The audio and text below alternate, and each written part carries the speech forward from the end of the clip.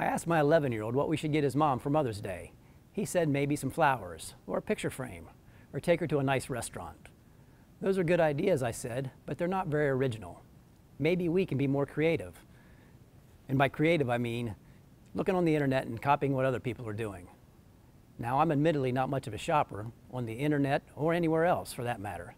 So my default shopping strategy is to type Mother's Day gift ideas into Google and see what pops up. One of the first things on the list was a link to Amazon.com.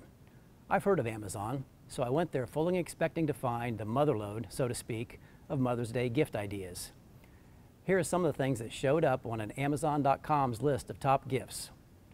Toilet paper printed with the face of famous politicians.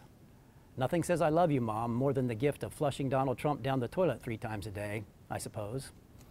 Another was a credit card survival knife. I know my wife pretty well, believe me. She'd much rather have just the credit card. You can keep the knife. There was a Vino to go wine glass with a spill-proof top. Most people I know can walk from point A to point B without spilling a drink. So I guess the top is for when you're drinking wine while running, or riding an ATV, or driving a car. There were plantar fasciitis socks with arch support. I have to admit, that would be a unique Mother's Day gift. So I refined my search to zero in on Mother's Day. There I found an extensive list of lovely Mother's Day gifts, all of them picture frames and flowers. Turns out my 11-year-old is more original than I gave him credit for.